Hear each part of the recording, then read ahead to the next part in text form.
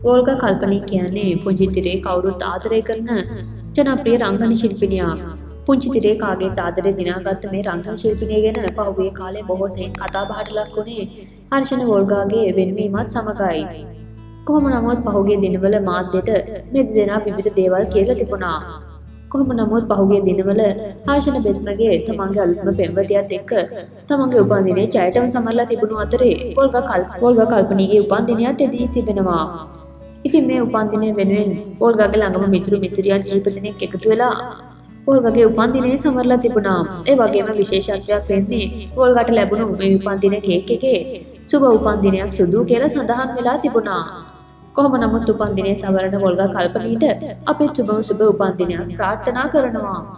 ඒ ගමම්ම ඇය වෙනුවෙන් උපන්දිනයට තියපු පුංචි උපන්දින සාදයේ ගී ගයා සතුටුවමින් තිබ්බ අපූරු ඡායාරූප වගේකුත් අපි ඔබ වෙත ගෙන එන්න හිතුවා.